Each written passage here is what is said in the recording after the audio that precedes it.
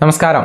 Raf talks ഫുട്ബോളിലേക്ക് ഏവർക്കും സ്വാഗതം. സമീപകാലത്ത് സൂപ്പർ താരം നെയ്മർ ജൂനിയർക്ക് വലിയ രൂപത്തിലുള്ള വിമർശനങ്ങൾ ഏൽക്കേണ്ടി വരുന്നുണ്ട്. പ്രത്യേകിച്ച് യുവേഫ ചാമ്പ്യൻസ് ലീഗിൽ നിന്നും പി എസ് ജി പുറത്തായതോടുകൂടിയാണ് ഈയൊരു വിമർശനങ്ങൾ ഇരട്ടിയായത്. ഇതിനിടയിൽ മറ്റൊരു ആരോപണം കൂടി നെയ്മർക്ക് നേരിടേണ്ടി വന്നിരുന്നു. അതായത് നെയ്മർ ജൂനിയർ പി എസ് ജിയിൽ പരിശീലനത്തിന് എത്തുന്നത് മദ്യപിച്ചുകൊണ്ടായിരുന്നു എന്നാണ് ഒരു പ്രമുഖ ഫ്രഞ്ച് ജേർണലിസ്റ്റ് ആരോപിച്ചിരുന്നത്. എന്നാൽ നെയ്മറുടെ ബ്രസീലിയൻ സഹതാരമായ ലുക്കാസ് പക്കേറ്റ ഇതിനെ പൂർണമായും തള്ളിക്കൊണ്ട് രംഗത്ത് വന്നിട്ടുണ്ട് എന്നുള്ളതാണ്. നെയ്മർക്കെതിരെയുള്ള ആരോപണങ്ങൾ ഒന്നും തന്നെ സത്യമല്ല എന്നാണ് ഇപ്പോൾ ലുക്കാസ് പക്കറ്റ് പറഞ്ഞിട്ടുള്ളത്. അതുമാത്രമല്ല അദ്ദേഹം നെയ്മർക്ക് പിന്തുണ പ്രഖ്യാപിക്കുകയും ചെയ്തിട്ടുണ്ട് എന്നുള്ളതാണ്. കഴിഞ്ഞ ദിവസത്തെ പത്രസമ്മേളനത്തിൽ സംസാരിക്കുകയായിരുന്നു പക്കറ്റ്. അദ്ദേഹത്തിന്റെ വാക്കുകൾ ഇങ്ങനെയാണ്. ബഹുമാനമില്ലാതെയാണ് അവർ സംസാരിക്കുന്നത്. അവർ ആരോപിച്ച കാര്യങ്ങളൊന്നും തന്നെ സത്യമല്ല. തീർച്ചയായും നെയ്മർ അതിനോട് പ്രതികരിക്കുകയില്ല.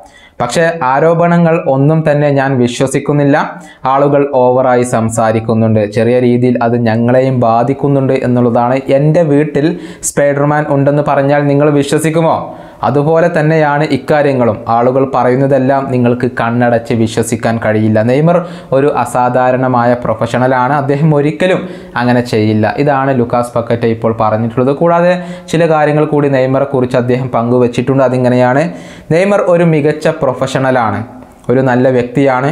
ബ്രസീൽ ടീമിലെ ഏറ്റവും മികച്ച താരമാണ്.